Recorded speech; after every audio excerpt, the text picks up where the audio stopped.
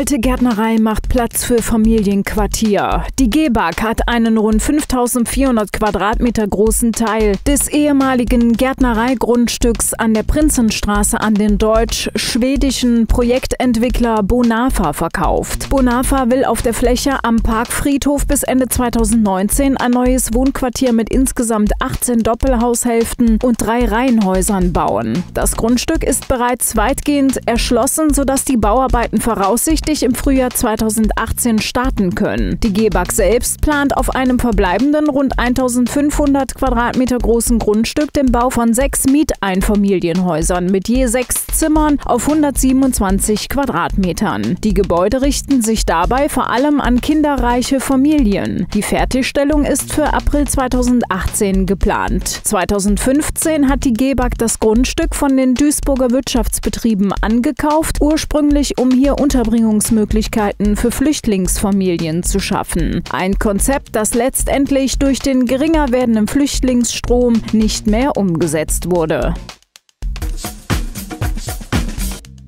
Winterzeit ist Einbruchszeit. Laut der Einbruchsstatistik des Bundeskriminalamts wurden in Duisburg im vergangenen Jahr 1630 Einbrüche begangen. Das sind 332 Fälle je 100.000 Einwohner. Die Herbst- bzw. Winterzeit ist eine beliebte Jahreszeit bei Einbrechern, denn gerade in den dunklen Monaten sind sie besonders aktiv. Fast 40 Prozent der Einbrüche fallen auf die Monate Oktober, November und Dezember. Denn aufgrund der früh einsetzenden Dämmerung wird in den Wohnungen oftmals bereits am frühen Nachmittag das Licht eingeschaltet und Einbrecher erkennen, ob jemand zu Hause ist oder nicht. Außerdem werden die Langfinger schlechter von Nachbarn oder Passanten wahrgenommen und das Risiko, erwischt zu werden, sinkt. Schutz vor Wind und Wetter. Mit dem Beginn der kalten Jahreszeit weist die Stadt Duisburg darauf hin, dass wohnungslose Personen auch in diesem Winter nicht ungeschützt den Einflüssen des winterlichen Wetters ausgesetzt sein müssen. Erklärtes Ziel des Duisburger Hilfesystems ist die wohnraummäßige Versorgung aller von Wohnungslosigkeit bedrohten oder auch betroffenen Personen. Da einige Personen das Hilfeangebot aus individuellen Gründen ablehnen, wird diesen alternativ übergangsweise ein beheizter Schlafplatz Platz angeboten. Anlaufstelle für alle Betroffenen ist werktags in der Zeit von 8 bis 16 Uhr die zentrale Anlauf-, Beratungs- und Vermittlungsstelle auf der Beekstraße 45 in der Innenstadt. Hinweise auf obdachlose Personen in unserer Stadt nimmt die Fachstelle für Wohnungsnotfälle entgegen. Neue Paten für die Regattabahn-Laternen. Seit gestern Nachmittag sind zwei Läufer offizielle Laternenpaten. Für ein Jahr lang tragen zwei der insgesamt 180 Laternen an der Regattabahn in Duisburg-Wedau die Namen von zwei Sportlern. Zu verdanken haben sie dieses Geschenk Duisburg Sport und den Organisatoren des 15. Bunots Lichterlauf. Die Laternenpatenschaften werden jedes Jahr an die insgesamt 2000 Teilnehmer verlost. Die Spende trägt dazu bei, dass Duisburgs Läuferinnen und Läufer auch zu späteren Abendstunden sicher trainieren können können. Ja, ich habe mich sehr gefreut, dass ich diese Patenschaft jetzt gewonnen habe und äh, kann das nur jedem empfehlen. Jeder, der sportlich unterwegs ist, hier bei dem Lichterlauf mitzumachen und man kann ja auch eine schöne Patenschaft gewinnen. Uwe Busch, Geschäftsführer des Stadtsportbundes, überreichte den beiden Sportlern ihre Namensschilder, die in den kommenden Tagen direkt unter den leuchtenden Laternen befestigt werden.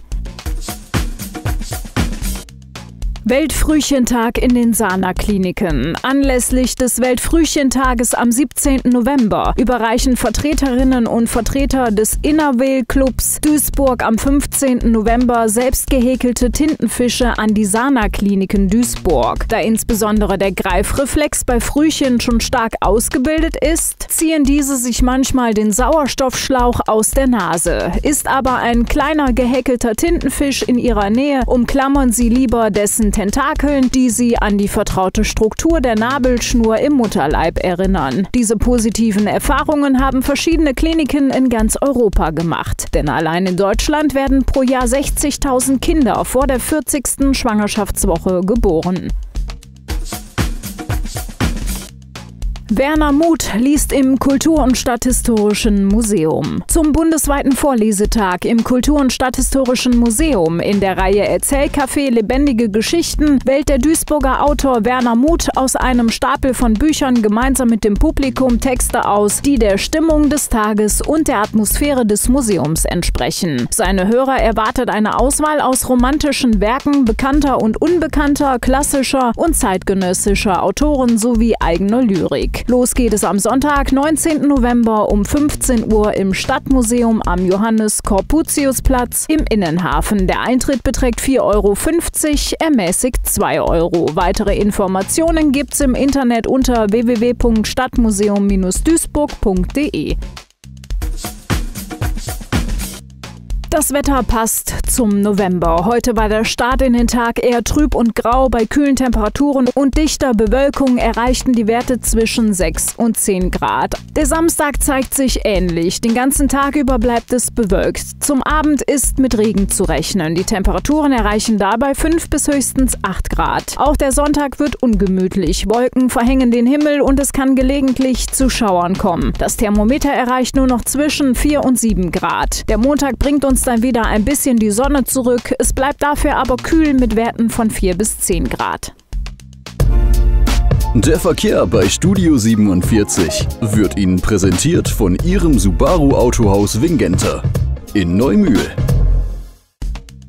Autofahrer seien Sie gewarnt, es wird geblitzt im Ruhrgebiet. Nehmen Sie also besser den Fuß vom Gas und zwar unter anderem auf der Königstraße in Altwalsum und auf der Oranienstraße in Düssern. Und Baustellen behindern weiterhin den Verkehr. Wegen Kanalbauarbeiten gibt es Behinderungen auf der Schifferstraße in Kasslerfeld. Diese ist im Einmündungsbereich der Max-Peters-Straße in Fahrtrichtung Ruhrorter Straße gesperrt. Im Baustellenbereich kann der Verkehr nur einspurig mit einer Baustellenampel geführt werden. Die Arbeiten werden voraussichtlich bis Ende Ende April 2018 dauern. Und in Bekerwert gibt es Behinderungen auf der A-Straße. Bis voraussichtlich Mitte November wird zwischen der Heimersheimer Straße und der Walpotzheimer Straße die Straße inklusive der Gehwege erneuert. Studio 47 wünscht allen Verkehrsteilnehmern eine sichere und staufreie Fahrt. Kommen Sie gut ins Wochenende.